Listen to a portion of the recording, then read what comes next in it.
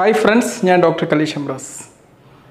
വെറും നൂറോളം വ്യൂവേഴ്സിന് വേണ്ടി എന്തിന് നിങ്ങൾ ഇത്രമാത്രം എഫോർട്ട് എടുക്കണം?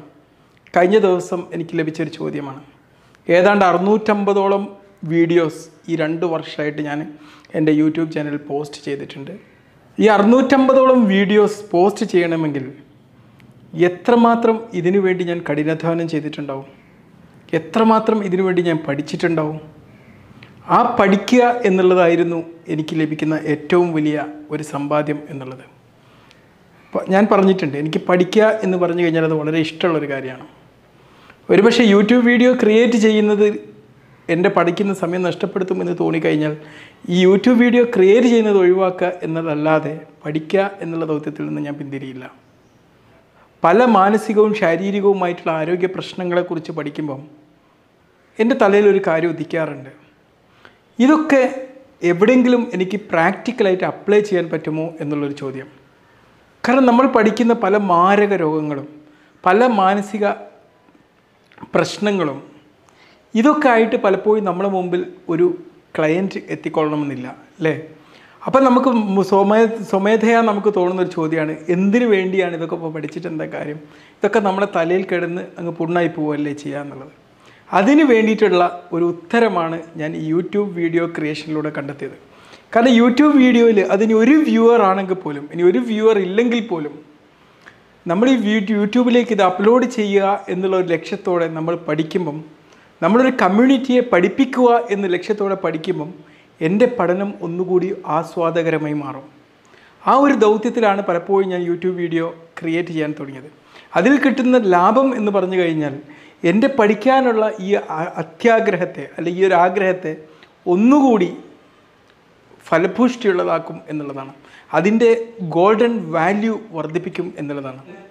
രണ്ടാമത് ഈ വീഡിയോ ക്രിയേറ്റ് ചെയ്യുന്നതിന് എന്റെ ലക്ഷ്യം എന്ന് പറഞ്ഞു കഴിഞ്ഞാൽ നമ്മൾ വ്യക്തമായിട്ടുള്ള ഒരു പർപ്പസ് നമ്മൾ ഓരോ ദിവസത്തിനും ഇല്ലെങ്കിൽ നമ്മൾ പർപ്പോസ്ലെസ് ആവും. നമുക്കൊരു ലക്ഷ്യബോധം ഇല്ലാത്തവരായി മാറും. ഓട്ടോമാറ്റിക്കായിട്ട് പല കാര്യങ്ങളിലേക്കും നമ്മുടെ ജീവിതം തെന്നിപ്പോവും ഇപ്പോൾ നമ്മൾ കാണാറുണ്ട് വാട്സപ്പിലും ഫേസ്ബുക്കിലൊക്കെ നോക്കിക്കഴിഞ്ഞാൽ ഒരുപാട് പേർ ഒരുപക്ഷെ മുൻകാലങ്ങളിൽ ഞാൻ പോലും ഒരുപാട് സമയം അനാവശ്യമായിട്ടുള്ള പല ചാറ്റിങ്ങുകളും ചിലവഴിക്കുന്ന അവസ്ഥ ഉണ്ടാവും. ഇപ്പോൾ കുട്ടികളാണെങ്കിൽ ഒരുപാട് സമയം വളരെ അനാവശ്യമായിട്ടുള്ള അവർക്ക് ഒരു ഉപകാരവും കിട്ടാത്ത അവരുടെ സമയത്തെ കൊല്ലാക്കൊല ചെയ്യുന്ന പല ഗെയിമുകളിലും മുഴുകിക്കൊണ്ടേയിരിക്കും. എന്തൊരു ഫലമാണ് അവർക്ക് ഇതുകൊണ്ട് ജീവിതത്തിൽ ലഭിക്കാൻ പോകുന്നത്? തികച്ചും സീറോ ആണ് എന്ന് മാത്രമല്ല ഒരുപാട് നെഗറ്റീവ് ഇമ്പാക്റ്റും അതുപോലെ ഉണ്ടാവും. അതേസമയം നിങ്ങൾക്ക് ജീവിതത്തിൽ വ്യക്തമായിട്ടൊരു ലക്ഷ്യമുണ്ടായിരിക്കുകയാണെങ്കിൽ നിങ്ങളൊരു യൂട്യൂബ് ക്രിയേറ്റ് ചെയ്യണമെന്ന ലക്ഷ്യത്തോടെയാണ് നിങ്ങൾ ചെയ്യുന്നതെങ്കിൽ നിങ്ങളുടെ ഇതേ സമയം നിങ്ങൾ ആ ഒരു പർപ്പോസിൽ ഉപയോഗിക്കുമ്പം എന്തായിരിക്കും സംഭവിക്കുക? നിങ്ങൾക്ക് ബോധപൂർവം ചെയ്യാൻ ഒരുപാട് കാര്യങ്ങൾ ഉണ്ടാകുമ്പം നിങ്ങൾ അബോധാവസ്ഥയിലൂടെ അല്ലെങ്കിൽ ഓട്ടോമാറ്റിക്കായിട്ട് ചെയ്യുന്ന പല കാര്യങ്ങളിൽ നിന്നും നിങ്ങൾക്ക് മാറി നിൽക്കാൻ കഴിയും. അതാണ് ഇതുകൊണ്ട് നമുക്ക് ഏറ്റവും കിട്ടുന്ന ഏറ്റവും വലിയൊരു ബെനിഫിറ്റ് എന്ന് പറയുന്നത്. ചിലപ്പോഴൊക്കെ ഞാനും ചിന്തിക്കാറുണ്ട് എന്താ എന്റെ ഈ ഞാൻ ഉപയോഗിക്കുന്ന ഓരോ ഗാഡ്ജറ്റ്സുകളും അത് വളരെ കോസ്റ്റ്ലിയാണ് അപ്പോൾ ഈ ഗാഡ്ജറ്റ്സ് എല്ലാം ഉപയോഗിച്ചിട്ട് യൂട്യൂബിൽ നിന്ന് വളരെ തുച്ഛമായിട്ട് വെറും ഇരുന്നൂറ് രൂപയോ ഇരുന്നൂറ്റമ്പത് രൂപയോ മന്ത്ലി ഇൻകം അത് ഞാൻ ക്ലെയിം ചെയ്തിട്ടുമില്ല. കിട്ടാൻ വേണ്ടി എന്തിനാണ് ചെയ്യേണ്ടത്? യൂട്യൂബ് വീഡിയോയിൽ നിന്നൊരു ഇൻകം ജനറേറ്റ് ചെയ്യുക എന്നുള്ള ലക്ഷ്യത്തോടെ ഞാൻ ചെയ്യുകയാണെങ്കിൽ തീർച്ചയായിട്ടും എനിക്ക് ഇതൊരു വലിയ നഷ്ടക്കച്ചവടം തന്നെയാണ്. പക്ഷേ ഞാൻ അതല്ല ചെയ്യുന്നത്. എന്റെ ജീവിതത്തിന്റെ ഒരു പാഷനെ കൂടുതൽ ഫലപ്രദമായിട്ട് പ്രതിഫലിപ്പിക്കാനുള്ള ഒരു മീഡിയ ആയിട്ടാണ് ഞാൻ യൂട്യൂബിനെ കാണുന്നത്. എന്റെ ജീവിതത്തിൽ ഏറ്റവും സന്തോഷം കിട്ടുന്ന ഒരു കാര്യം എക്സ്പ്രസ് ചെയ്യാൻ വേണ്ടിയിട്ടുള്ള ജസ്റ്റ് എ മീഡിയം അതാണ് യൂട്യൂബ് എന്ന് പറഞ്ഞു കഴിഞ്ഞാൽ. രണ്ടാമത് ഞാൻ എപ്പോഴും പണ്ടേ പറയാറുള്ള ഒരു കാര്യമാണ്. എന്റെ ജീവിതത്തിന്റെ ഒരു ലക്ഷ്യം എന്താണെന്ന് വെച്ച് കഴിഞ്ഞാൽ മരിച്ചു കഴിഞ്ഞാലും നമ്മുടെ ചില ചില അടയാളങ്ങൾ ഇവിടെ ബാക്കിയാവണം. തീർച്ചയായിട്ടും നമുക്കറിയാം കഴിഞ്ഞ ദിവസം തന്നെ ഞാൻ ഞെട്ടിപ്പോയിട്ടുണ്ട്. ഞാൻ ഈ ഒരു സ്ഥലത്ത് ജോലി ചെയ്യാൻ വന്ന അന്ന് ഒട്ടേ അറിയുന്ന ഒരു ആത്മസുഹൃത്ത്. മരിച്ചു എന്ന വാർത്ത കേട്ടിട്ട് വിശ്വസിക്കാൻ പോലും പറ്റാത്ത ഒരവസ്ഥ. പിന്നെ പിന്നെ ഞാൻ വിളിച്ച് കൺഫേം ചെയ്തു. എനിക്ക് മരിച്ചു എന്നുള്ളത് നമുക്ക് വിശ്വസിക്കാനേ പറ്റുന്നില്ല. അത്രയേ ഉള്ളൂ മനുഷ്യന്റെ കാര്യം. ഈ പറഞ്ഞുകൊണ്ടിരിക്കുന്ന ഞാൻ നാളെ ഉണ്ടാവുന്ന എന്താ ഉറപ്പ്? ഒരു പക്ഷെ അപ്പം പറയും അയ്യോ അന്ന് വീഡിയോ എടുത്തിരുന്ന ഡോക്ടർ. അല്ലേ ചിലർക്കൊക്കെ ഒരുപാട് മോശം കാര്യങ്ങളും പറയാനുണ്ടാവും. ഒരു മെഡിക്കൽ പ്രൊഫഷണലാകുമ്പോൾ തീർച്ചയായിട്ടും നല്ല കാര്യങ്ങളോടൊപ്പം തന്നെ ഒരുപാട് മോശം കാര്യങ്ങളും പലർക്കും പറയാനുണ്ടാവും. ഇതൊക്കെ പറയുന്നൊരവസ്ഥകളും ചിന്തിച്ച് നോക്ക്. അങ്ങനെ ഒരു അവസ്ഥ നമുക്ക് വരാനുണ്ട്. ഏത് നിമിഷം വേണമെങ്കിൽ നമ്മുടെ ജീവിതം ഇവിടെ അവസാനിക്കും. ഈ ജീവിത നമ്മുടെ ജീവിതം അവസാനിക്കുന്നതിന്റെ തൊട്ട് മുമ്പുള്ള ഒരു നിമിഷം ഉണ്ടല്ലോ. അപ്പോൾ നമുക്ക് ബോധ്യമാവും ഈ ജീവിതം എത്രമാത്രം വാല്യബിൾ ആണ് എന്ന്. എന്തിനു വേണ്ടിയായിരുന്നു നമ്മൾ പരസ്പരം ഈ തർക്കിച്ചു കൊണ്ടിരുന്നത് എന്നൊക്കെ നമുക്ക് തിരിച്ചറിയുന്ന നമുക്ക് ചെറിയൊരു ബോധത്തിന്റെ അംശം ഉണ്ടെങ്കിൽ തിരിച്ചറിയുന്ന ഒരു നിമിഷമാണ് നാം മരണത്തിന്റെ തൊട്ട് മുമ്പിൽ നിൽക്കുന്ന ഒരു നിമിഷം എന്ന് പറഞ്ഞു കഴിഞ്ഞാൽ. അറിയോ? അപ്പോൾ അതുപോലൊരു നിമിഷത്തിലേക്കാണ് നമ്മളൊക്കെ കടന്നു പോകുന്നത്. അതിന് മുമ്പായിട്ട് നമുക്ക് കിട്ടിയ ഏറ്റവും വെർത്ത്ഫുൾ ആയിട്ടുള്ള ഒരു കാര്യം എന്ന് പറഞ്ഞു കഴിഞ്ഞാൽ നമുക്ക് ജീവനോടെയുള്ള ഈ ഒരു സമയമാണ് എന്ന് നമ്മൾ തിരിച്ചറിയണം. വലിയ സ്വർണത്തിന്റെ കൂമ്പാരങ്ങളോ അല്ലെ ഡോളറിന്റെ നോട്ടുകെട്ടുകളോ ഒന്നും അല്ല നമുക്ക് ഏറ്റവും വാല്യബിൾ ആയിട്ടുള്ളത്. നമുക്ക് ജീവനുള്ള ഈ ഒരു സമയം തന്നെയാണ്. അതിനെ നമ്മൾ ഫലപ്രദമായിട്ട് നമ്മൾ ഉപയോഗിച്ചിരിക്കണം.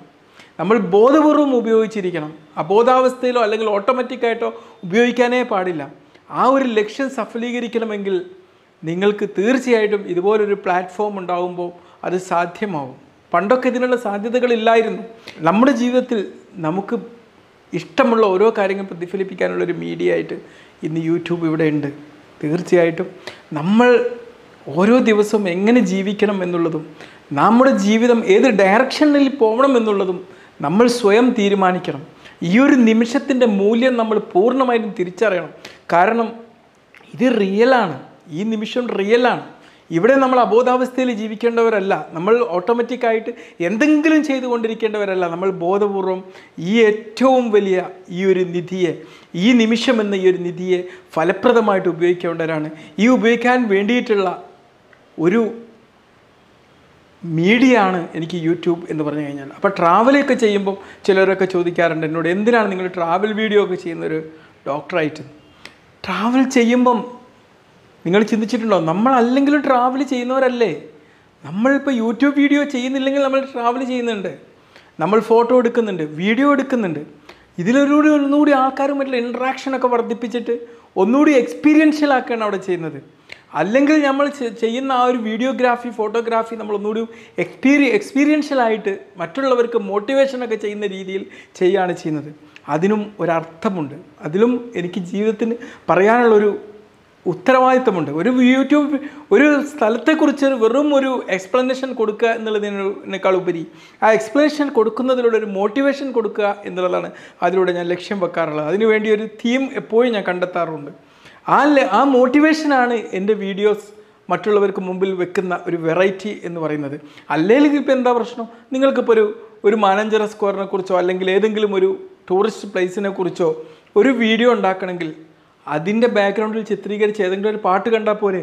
അതിന് നോക്കിക്കഴിഞ്ഞാൽ എത്ര മനോഹരമായിട്ടാണ് ഓരോ വീഡിയോഗ്രാഫേഴ്സും ഒരുപാട് ആർട്ട് ഡയറക്ടേഴ്സൊക്കെ അത് ചിത്രീകരിച്ചിരിക്കുന്നത്.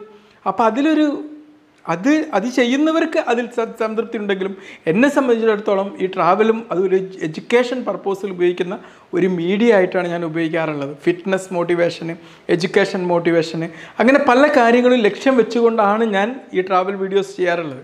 അപ്പോൾ അതിൽ നിന്ന് കിട്ടുന്നൊരു ലാഭം എന്ന് പറയുന്നത് നാം ജീവിക്കുന്ന ഈ ഒരു നിമിഷത്തിൽ നമുക്ക് കിട്ടുന്ന ആ വലിയൊരു സംതൃപ്തിയാണ്. അതിൽ നിന്റെ ബൈ പ്രോഡക്റ്റ് ആയിട്ട് കിട്ടുന്നതാണ് ഈ സബ്സ്ക്രൈബറും മറ്റുമെല്ലാം. ഒരിക്കലും എനിക്ക് സബ്സ്ക്രൈബ് ചെയ്യൂ എന്ന് പറഞ്ഞൊരു അഭ്യർത്ഥന മുന്നോട്ട് വെക്കാൻ ഞാൻ ഒരിക്കലും ആഗ്രഹിക്കാറില്ല. കാരണം എന്താണ്? അതൊക്കെ ഓരോരുത്തരുടെ ആൾക്കാരുടെ ഇഷ്ടമാണ്. അവരുടെ പേഴ്സണൽ ഫ്രീഡമാണ് അത് അവർ സെലക്ട് ചെയ്യട്ടെ. പലപ്പോഴും എന്റെ വീഡിയോസ് കുറേ കാലമായിട്ട് കാണാത്ത എന്റെ ബ്രോഡ്കാസ്റ്റ് ലിസ്റ്റിലൊക്കെ ഞാൻ തന്നെ ഓട്ടോമാറ്റിക്കലായിട്ട് അവരെ ഡിലീറ്റ് ചെയ്യാറുണ്ട്. പല ഗ്രൂപ്പുകളിലോട്ടും ഞാൻ പലപ്പോഴും ഷെയർ ചെയ്യാറില്ല.